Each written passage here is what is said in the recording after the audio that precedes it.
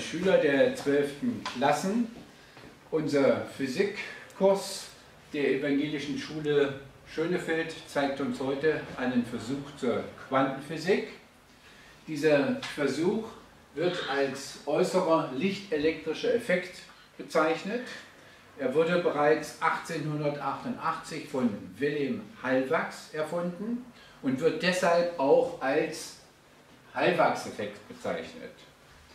Er war übrigens das erste Phänomen mit Licht, bei dem ein Quanteneffekt gezeigt werden konnte. Und nun beginnen wir mit der Durchführung des Experimentes. Anton. Dafür stellen wir euch erstmal alle Geräte vor, die wir dabei nutzen.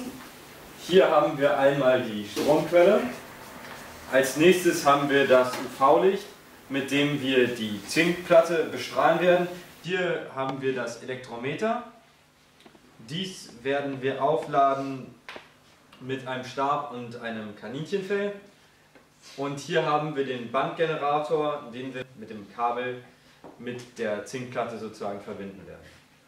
Und zu guter Letzt haben wir das weiße Licht. Hier zu sehen. Erst müssen wir das kurz aufladen. Es wäre vielleicht besser, wenn wir doch erst die Platte noch abschmögeln. Können wir noch tun. Bitte. Nehmen wir dafür die Platte raus.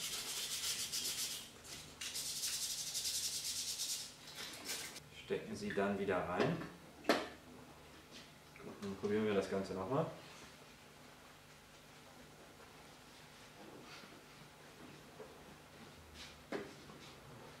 Und sehen hier einen Ausschlag. Genau. Nun schalten wir die Stromquelle an. Wie wir sehen, geht jetzt mit der Zeit äh, geht der Ausschlag zurück und nähert sich der Null. Der Bandgenerator eingeschaltet. Dann nehmen wir das Kabel. So. Verbinden es mit dem Bandgenerator und mit der Zinkplatte. Jetzt wird diese aufgeladen, positiv. Und man sollte einen deutlichen Ausschlag sehen.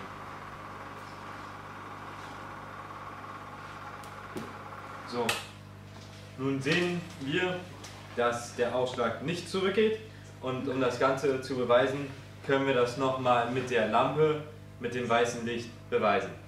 Und auch hier sehen wir nichts. Damit hätten wir den Versuch durchgeführt und äh, lassen uns jetzt noch einige Aspekte zur näheren Erklärung hören von unseren Schülern. Bitte.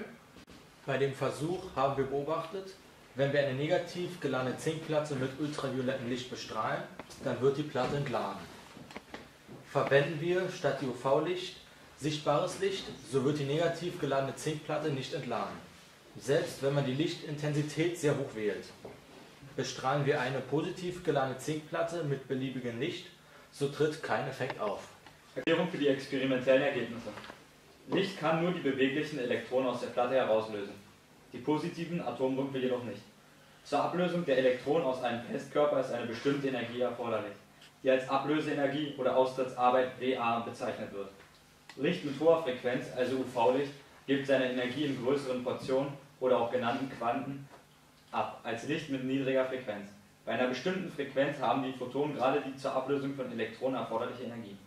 Wenn die Energie eines Photons größer ist als die Austrittsarbeit für ein Elektron, dann ist die restliche Energie gleich der kinetischen Energie dieses herausgelösten Elektrons. Es ist also E gleich WA plus E Kinet. Die Formel finden wir hier vorne nochmal an der Tafel. Damit hat der Grundkurs Physik an unserer Schule den ersten Versuch in der Quantenphysik gezeigt. Das war's.